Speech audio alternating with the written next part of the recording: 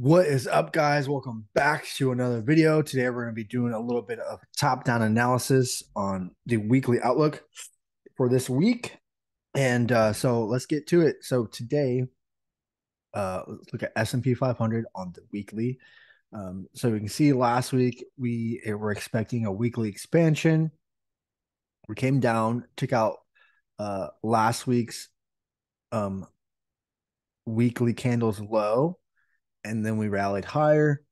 Um, I'm expecting us to possibly continue uh, bullish here as we have this uh, weekly void, this gap here. Um, if we look, if we were to look on ES, the futures, there is a true void here and a gap in price. So um, on S&P, it's a fair value gap here. So I'm uh, looking for us to continue bullish as we look at the uh, we look at the dollar index. We've we've come up into uh, this fair value gap, traded through it. Um, so we could potentially uh, come up here uh, this week and maybe sweep a little bit of this buy side and then continue back down into these PD arrays below us. So we could uh, rally higher midweek and then reverse the, the end of the week. Or we could, uh, the dollar could potentially maybe uh, do some sort of uh, retracement and then continue up into this PD array. So um, just to keep in mind on here, um, you can also look at the uh, the U.S. ten year Treasury bonds to get a better idea. So if we look on the weekly, we've uh, come up and tapped into this weekly fair value gap here on the the bonds.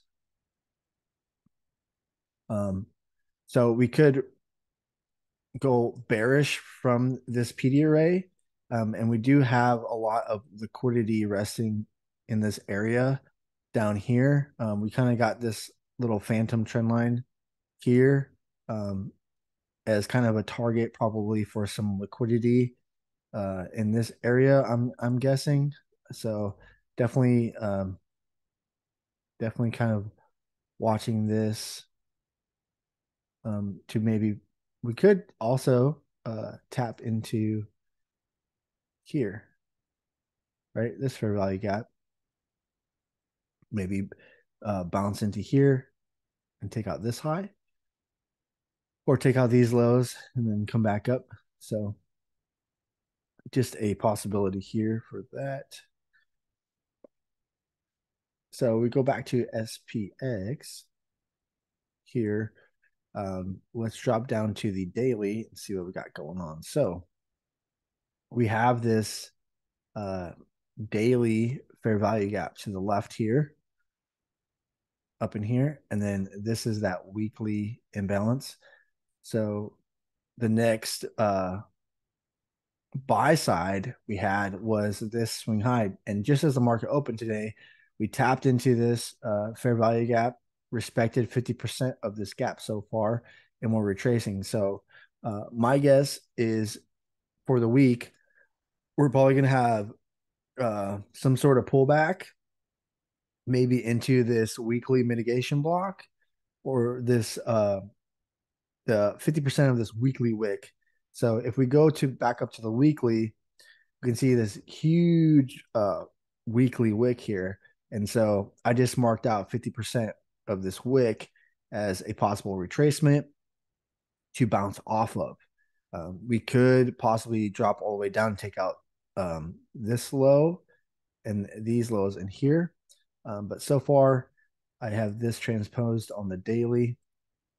So we could get a uh, Tuesday, Wednesday low of the week. Um, there's lots of news. There's lots of news this week. So if we look up, let's do Forex Factory for the week. Um, lots of news this week. Um, tomorrow, of course, is a bank holiday. Um, no trading tomorrow. Tuesday, we have uh, red folder news right at 10 a.m., um, which is in line with our silver bullet. So we probably want to be very, very cautious. Um, wait for for the uh, manipulation of volatility to kind of uh, dissipate or pass, or we might be able to use it to our advantage.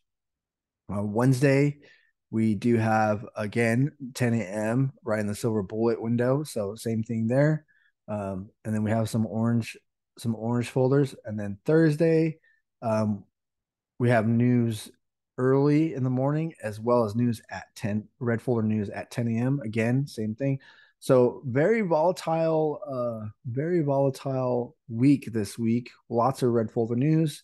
So uh going to be trading with a lot a lot of caution here so um if we drop down to the four hour um, we can see we have this four hour these very clean lows on the four hour. So if we're going to drop here, um, we also have this weekly sell side. If you see a lot of these lows here are pretty clean. Um, there's a four hour fair value gap here that I'm seeing um, as a PD array that we could drop under into this week. So there's that. Um, and then, of course, if we retrace here, we have this uh, this four hour value gap, another gap in here. So we measure this run. Let's see here. This, this high so far. Um, 50%, we would probably want a retracement if we use the bodies here. Um, probably somewhere in here. So we have this.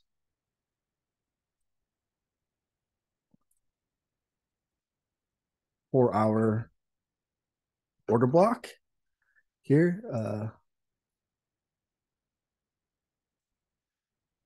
Uh, and if you pair it here, combine the two, we have this order block, and then we also have this uh, four hour fair value gap in here.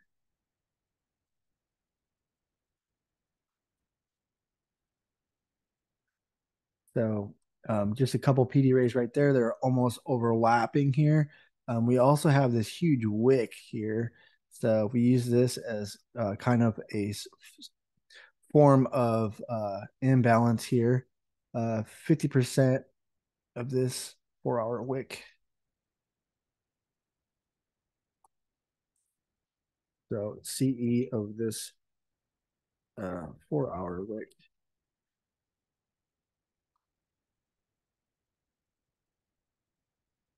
Sell side imbalance, uh, buy side inefficiency. So um, so a lot of uh, PD arrays here under 50% of this uh, small price run up. If we continue bearish here in reverse, you can see here we we swept the buy side here and uh, wicked above. We closed candle body above, so we could uh, definitely retrace back down to equilibrium or just under equilibrium, um, and look for areas to take some buys off of here. Maybe uh, Tuesday or Wednesday, depending on how price moves uh, overnight tonight and tomorrow. So we drop down to the one hour. Let me get rid of this uh, swing here. We drop down to the one hour. This is that four hour wick.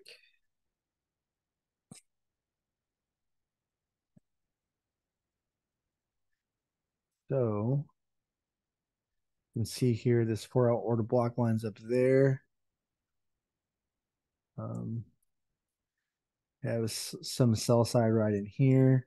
Lots of lows here to be taken out. So um, kind of feeling like this could be an area of interest to come down into um, and definitely retrace from.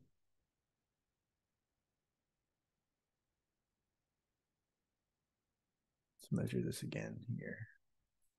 The one hour. Yeah, so uh, we could come on this small little uh, order block there drop down to the 15 minute.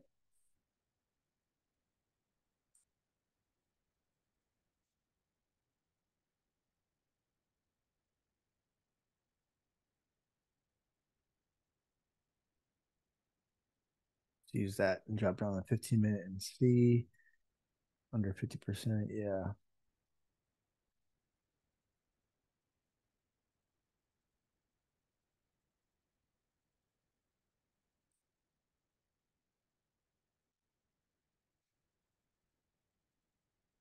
Some relative equal highs here.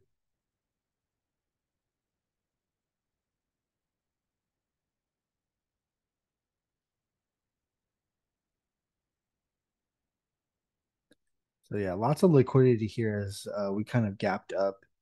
Um, so let's look at ES. So this is our uh, new week opening gap now. So if we mark up this, where we opened.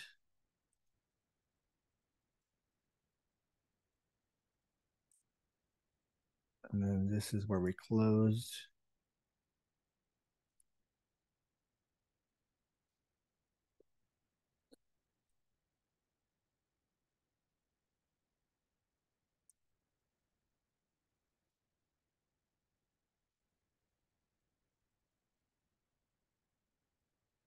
We'll make these orange. This is our new week opening gap. And then we want 50% here.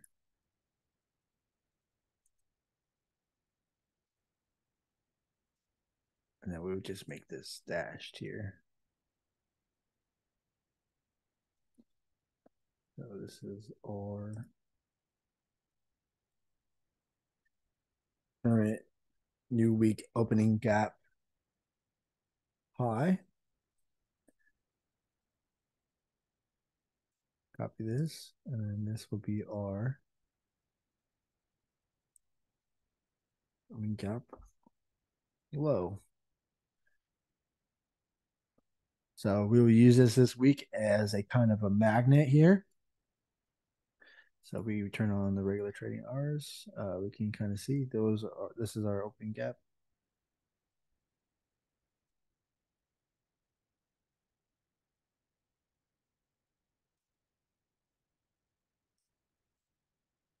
So yeah. So this that's kind of what we're expecting for the week. Uh, some some uh, bearish retracement, maybe some bullish continuation to end the week, or uh, yeah, we shall see how news affects, um, and we will use Monday and Tuesday uh, to line up um, and see what the weekly profile is kind of going to give us, um, and see if we do dip down into some of these a uh, discount PD arrays. So until next time, I'll catch you guys later. Trade safe.